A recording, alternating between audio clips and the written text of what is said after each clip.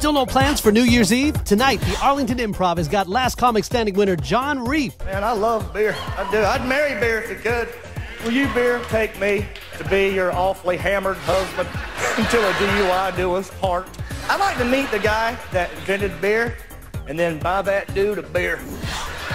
It's the hilarious Jon Reep. Tonight at the Arlington Improv. 817 635 5555 for tickets. It's the brand new improv right in the Arlington Highlands.